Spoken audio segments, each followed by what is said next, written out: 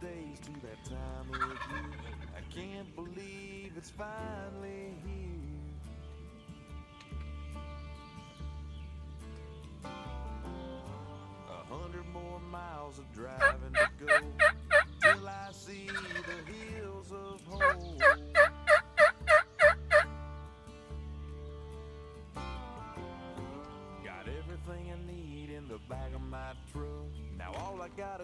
is get the job done.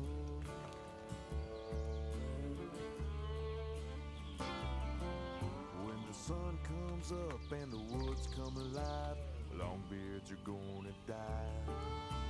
Longbeards are gonna die.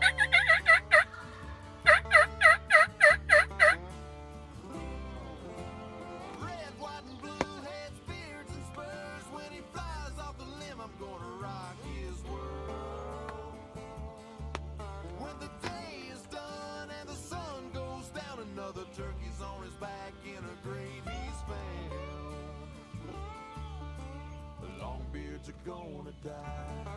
Yeah, longbeards are gonna die. A yelp and a cut from my old slate call. He gobbled back, I knew it was on.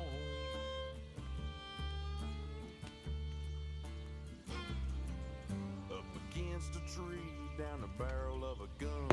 He don't know what's about to come.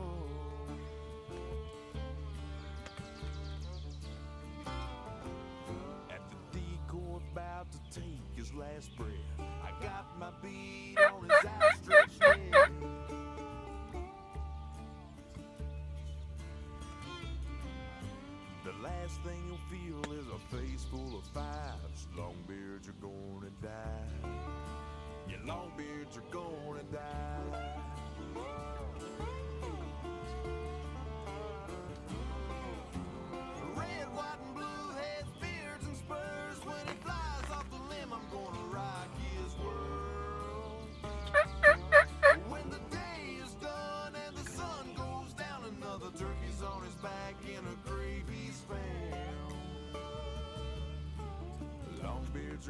gonna die.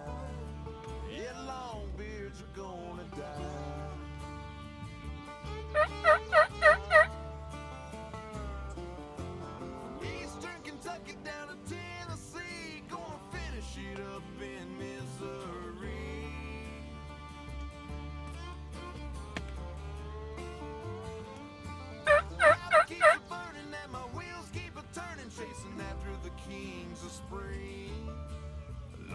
Longbeards are gonna die. Yeah, longbeards are gonna die.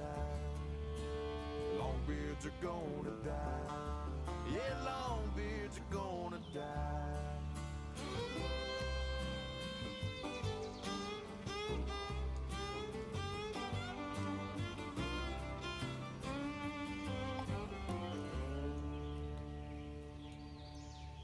Day is done and the sun's going down another. Yes. Whew. Here's my first guy with 2017. Oh my god. Stop, flop, and roll, baby.